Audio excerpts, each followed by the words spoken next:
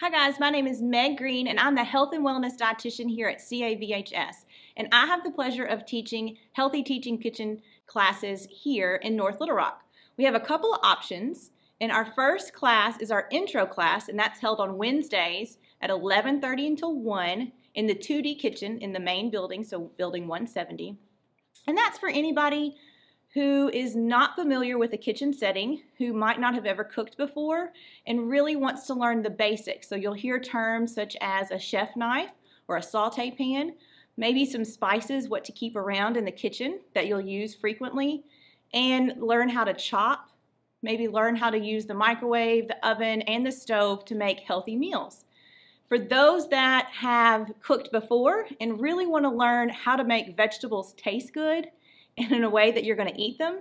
Then we have classes called Healthy Teaching Kitchen classes. Those are held on Tuesdays from 10 until 12 and also Fridays from 12 until 2 in Building 33, Room 111.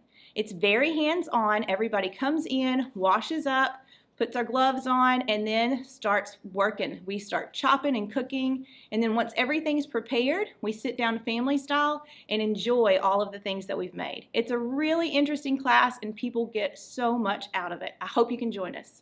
My name is Alfred Lewis, and I was the United States Army.